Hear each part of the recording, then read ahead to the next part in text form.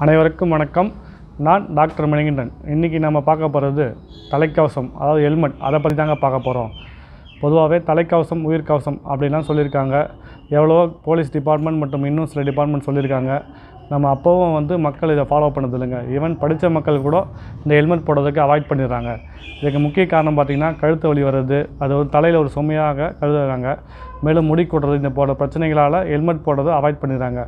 But இந்த இதெல்லாம் வந்து சின்ன சின்ன பிரச்சனை தாங்க இந்த பிரச்சனையால் வந்து நம்ம ஹெல்மெட் போடுறதால பெரிய பெரிய பாதிப்புகள் ஏற்படுது. ஈவன் உயிரிழப்பு கூட ஏற்படுதுங்க.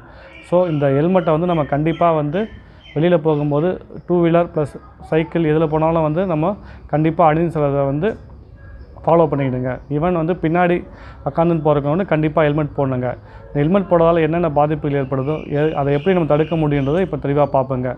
யூஸ்வலாக வந்து நம்ம ஹெல்மெட் போடுறதால உள்ளே வந்து ப்ரொடக்டிவ் லேவர் இருக்குதுங்க அதனால் நீங்கள் வந்து ஒரு ரோட் டிராஃபிக் ஆக்சிடென்ட் எதனா ஏற்படும் போது கீழே விழும்போது பார்த்தீங்கன்னா பிரெயின் மூமெண்ட்டை வந்து அது தடுக்குதுங்க ஸ்லோ பண்ணுது. இதனால் வந்து உங்களுக்கு பெருசாக வந்து பிரெயின் மூமெண்ட் வந்து தடுக்கிறதால பிரெயின் இன்ஜுரி இல்லைதுங்க. யூஸ்வலாக நம்ம வெளியில் ஏற்பட பாதிப்புகள் பார்த்திங்கன்னா ஓப்பன் உன் சொல்லுவாங்க. இன்னொன்று க்ளோஸ்டு உன் ரெண்டு வகையான பாதிப்புகள் ஏற்படுதுங்க. ஓப்பன் உண்டுன்றது நேரடியாக அடிபட்டு உள்ள சின்ன ஓட்டையோ ஹோல்ஸ் ஏற்பட நம்ம ரத்தம் கசியலாம். மேலும் பார்த்திங்கன்னா எலும்புகள் வந்து உடையத்துக்கு வாய்ப்புகள் இருக்குங்க.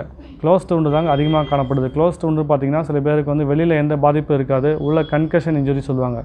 அது உள்ளே வந்து ரத்த கட்டி போயிருக்கும். உள்ளே வீக்கம் இருக்கும். இது வந்து மைல்டு இன்ஜுரிங்க மேலும் பார்த்திங்கன்னா இந்த மூளையை சுற்றி ஒரு மூணு லேயர் இருக்குங்க.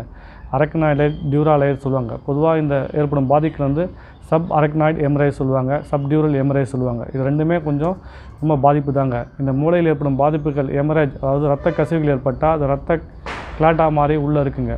இதனால் வந்து அவங்க வந்து சுயநிலவை எழுந்துருவாங்க மேலும் வந்து கை கால் வந்து உணர்ச்சட்டன் ஏற்படலாம் சில பேருக்கு யூஷனாக நியூரோ சர்ஜரி பண்ணால் கூட ரெக்கவரி ஆகிறது கஷ்டமாக இருக்கலாம். ப்ளஸ் வந்து கோமா நிலைக்கு அவங்க தள்ளப்படுறாங்க. பொதுவாகவே வந்து 90% பர்சன்ட் வந்து ஸ்பாட் டெட் உடனே வந்து நம்ம உயிரிழப்பு ஏற்படுதுங்க. சில பேருக்கு வந்து ட்ரீட்மெண்ட்டில் இருந்தாலும் அவங்கள வந்து நம்மளால் வந்து காப்பாற்ற முடியாது ஏற்படுது.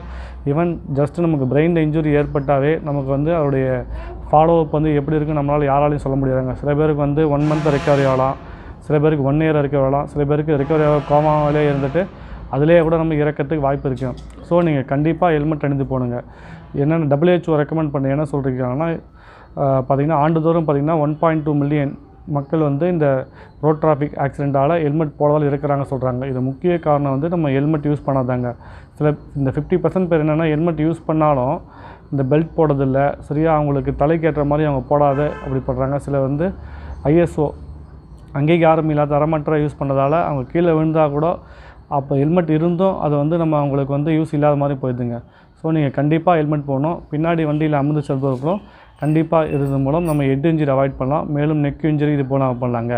நம்ம வீட்டில் ஒருத்தர் தான் வந்து நமக்கு வந்து வருமானம் கொடுக்குறாக்கலாம் அவருக்கே நிலைமை ஏற்பட்டால் அந்த குடும்பமே வந்து ரொம்ப கஷ்டப்படுறத பார்த்துருக்குங்க.